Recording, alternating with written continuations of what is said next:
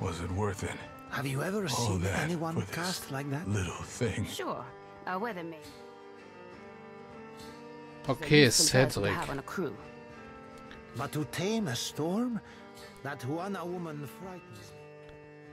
Der Mann, der hier sitzt, hat einen Becher Grog vor sich stehen. Nach dem leichtglasigen Blick seiner Augen nachzuurteilen, ist das nicht sein erster Becher. Er scheint tief in eine Münze versunken zu sein, mit der er auf seinen gerippten Knöcheln jongliert. 14 Kupfer geben. Darf ich dir ein Getränk spendieren? Der Mann blitzte dich an. Es dauert ein bisschen- paar Sekunden, bevor er dein Gesicht klar wahrnimmt. I'll have a drink. If you're having one yourself. Ah, ich trinke gerne etwas, wenn du auch etwas trinkst. Er deutet auf den gegenüberstehenden Platz. Als du deine Hand Richtung Barkeeper hebst, leert er den Becher an, dem er gesessen hat in einem langen Zug. Mhm. Something I can do for you, Watcher? Kann ich etwas für dich tun, Wächter? Ich nehme an, du hast schon von mir gehört. Du hältst diese Münze so, als hätte sie eine Geschichte zu erzählen. Ich bin wegen der Münze hier. Ich nehme an, du hast schon von mir gehört. Du warst nicht gerade leise, als du das erste Mal hier durchgekommen bist. Auch wenn es sicherlich ruhiger ist, seitdem du gegangen bist. Er sieht Xoti scheel an. Yeah, well, if folks had listened to me then, might be not so many would have died. I think it was worth shouting about, thank you. Ja gut, hätten die Leute damals auf mich gehört, wären nicht so viele gestorben. Ich meine, dass es das wert ist, darüber gesprochen zu werden. Danke vielmals. Du hältst die Münze, diese Münze so, als hätte sie eine Geschichte zu erzählen. Aye, Ah ja, Fein und lässt einen großen I were Seufzer. on a ship out of Telenair. We traded in luxuries. Spirits mostly. Ich war auf einem Schiff aus Telanier. Wir haben mit Luxusgütern gehandelt, hauptsächlich Spirituosen. worth an egg for the Dawn Stars, and Enifer out. Returned with rum and Iraq, but also berries and copper leaves. brachten Met, Wirtonek für die Dämmerungssterne und Jefnir mit.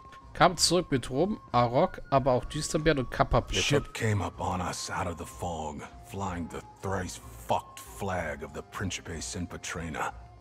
A Tao by the name of Misery's Delight. If you know it. Das Schiff hat uns aus dem Nebel heraus überrascht, hatte die dreimal verfluchte Flagge der Principi Pat- Simpatrena gehisst. Eine Schunke mit dem Namen Vergnügliches Leid, falls du sie kennst. A right sordid collection of shits, that crew. And the High Queen Sea Devil of the Deadfire, the biggest shit of them all.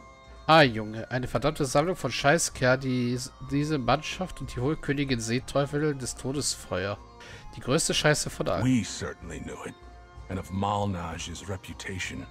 Yet the captain set the fighter off. Damned fool that he was. Wir wussten es sicherlich und haben von Malnasch Ruf gehört. Und doch machte sich der Captain daran, sie zu bekämpfen, dieser verdammte Dummkopf. Würdest du dich besser fühlen, wenn du wüsstest, dass Malnasch tot ist? Man muss verteidigen, was einem gehört. Da kommt irgendwann noch einmal... Du kommst irgendwann auch einmal auf die Münze zu sprechen, oder? Sprich weiter. I only survived on account of this coin.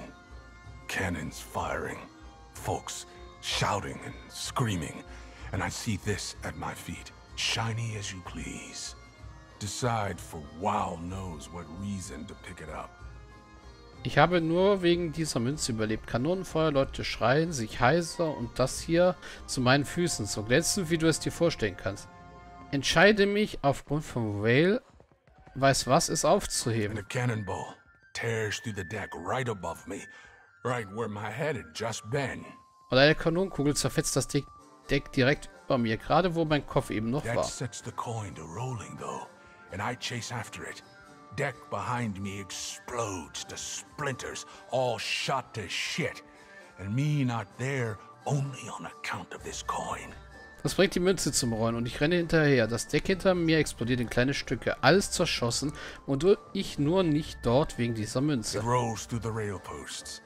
And I, not willing to let this damned thing be, leap after it. Feel my fingers close around it right as the ship goes up behind me in a great fucking fireball worthy of Margaret herself. They must have hit the powder kegs. Sie rollt durch die Sprossen und ich, der nicht von ihr lassen wollte, springe hinterher. Meine Finger hatten sich gerade um sie geschlossen, als das Schiff hinter. Ja, wahrscheinlich als das Schiff hinter mir mit einem großen Feuerball, der Markan selbstwürdig gewesen wäre, in die Luft fliegt. Sie haben wohl die Pulverfässer getroffen. Wake up down the way at Valaria's Rest. Nothing but the clothes on my back and this coin clutched tight in my grip. Bin Come da up here looking for work for a ship to get me off of this backwater island. Bin da unten bei Vilarus Rast aufgewacht. Nichts bei mir außer die Kleidung an meinem Körper und die Mütze, Münze fest in der Hand. Bin hierher gekommen, nach Arbeit zu suchen nach einem Schiff, das mich von dieser rückständigen Insel mitnehmen kann. Er nimmt einen großen Schluck aus seinem Becher. Kann ich dir die Münze abkaufen? Das war nachher Verstärkung. Lass uns auf ihr Andenken trinken. Danke, dass du deine Geschichte mit mir geteilt hast. Trinken wir weiter. mariner if I turned down a drink of rum or pour out a dram for the lads. Ich wäre kein Seemann, wenn ich den Rum ablehnen würde oder einen Schluck für die Jungs ausschenken würde. Wie eine normale Person trinken. Auf die Mannschaft des unzähligen, ungezählten Glück. Er wirft den Kopf in den Nacken und leert sein Glas in einem Zug, worauf er ein zweites hinterher kippt.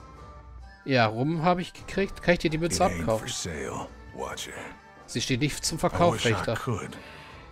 But there's no amount of coin I consider worth the fortune this little piece of silver has brought me. Ich wünschte, ich könnte es, aber es gibt keine Summe, die hoch genug ist für das Glück erachtet. Die hoch genug für das Glück geachtet würde, dass mir dieses kleine Stück Silber gebracht hat, wahrscheinlich. Danke, dass du deine Geschichte mit mir geteilt hast. Thank you for the drink. Ah, ja, danke für das Getränk. Ja. Was there something else you wanted, Watcher? I've got friends to forget. Wolltest du sonst noch etwas fertig? Ich habe Freunde zu vergessen. Der Mann sieht nicht von seinem Becher hoch. It ain't for sale. I wish I wake up down the way Okay. at Valaria's Rest. Nothing but the clothes on my back and this coin clutched tight in my grip. Na, trinken wir weiter. Ja, ihn unter den Tisch trinken. Der Mann trinkt eifrig aufgrund der Tatsache, dass er halb besoffen war, als du ihn gefunden hast. Dauert es nicht lange, bevor sein Kopf mit einem unverständlichen Murmeln auf den Tisch sinkt. Nur wenige Augenblicke später beginnt er zu schnarchen. Du überlässt dem Mann seine Flaschen. Nein, Torel, Hosen sind nicht für deinen Kopf. Die Münze nehmen. Mit der Münze in der Hand lässt du den Seemann am Tisch schlafen zurück. Hat mir das jetzt wieder irgendwelche Punkte ins Zwielichtig oder grausam gebracht? Nö. Man will, will nicht wissen, dass diese Münze, die in den Republiken geprägt worden ist, eine Silberluske war, ohne zuvor ihre schwarze Patina abzukratzen. Bei normaler Untersuchung findet man nur wenig über diese Münze heraus. Sie fühlt sich in deiner Hand jedoch ungewöhnlich kalt an. Eine Untersuchung der Münze mit den Sinnen eines Wächters enthüllt jedoch, dass sie vollständig mit den Resten von Seelen getränkt wurde, die in den groben Launen des Todesfeuers verloren gingen. Mhm. Ich habe die Münze gefunden, die das schlachtende Gesicht sucht. Um auf ihre spirituelle Geschichte zurückzugreifen, muss ich sie in das Becken der Erinnerung legen.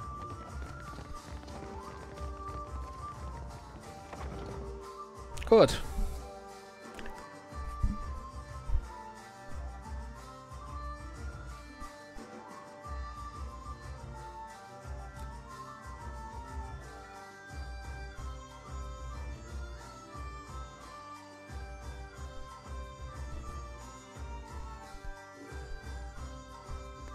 Jetzt muss ich mich aber gerade fragen, hat die Messing-Zitadelle ein Gefängnis?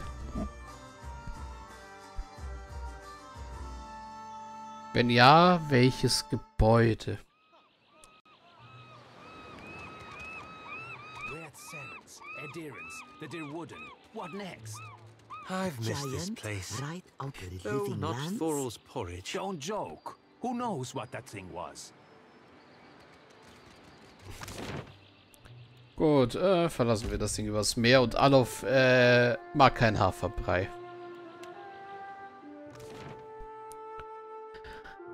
Gut. Das erste Artefakt haben wir.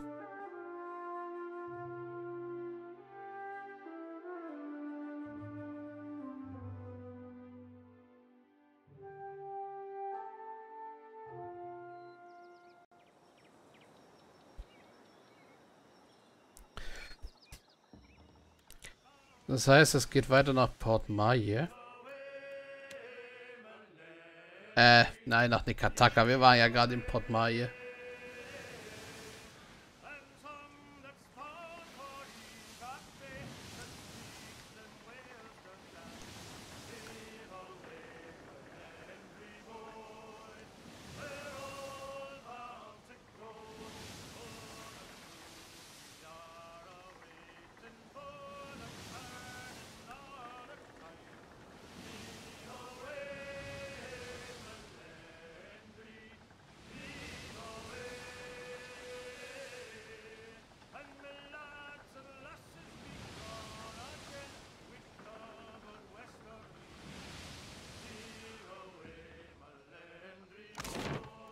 So, das heißt, wir legen jetzt äh, wirklich bei der Messing-Zitadelle an.